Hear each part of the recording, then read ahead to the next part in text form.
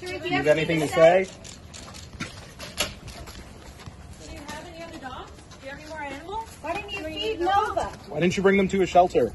Do you have anything to say it on?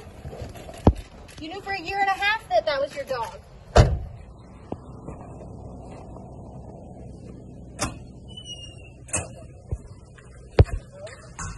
you have anything to say? Do you have any more dogs? The dog? Why did you leave it in the middle of the street?